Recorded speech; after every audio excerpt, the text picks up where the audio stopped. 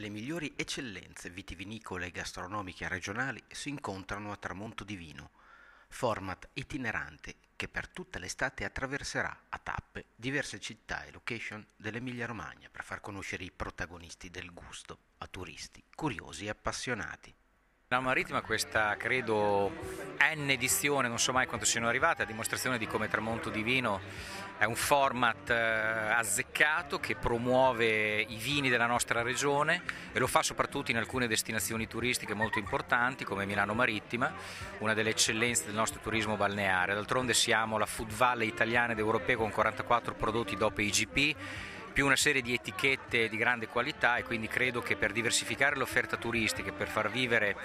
ai viaggiatori di Milano Marittima in questo caso, naturalmente di altre località nelle prossime tappe, sia importante far vivere queste esperienze, esperienze di qualità, esperienze di gusto che raccontano un territorio straordinario che è fatto anche di grandi bottiglie, di grande vino, il vino racconta la storia di un territorio, quindi non c'è niente di meglio appunto che trascorrere una serata a Milano Marittima con tramonto di vino. Cultura e il cibo sono i due grandi attrattori turistici che muovono le persone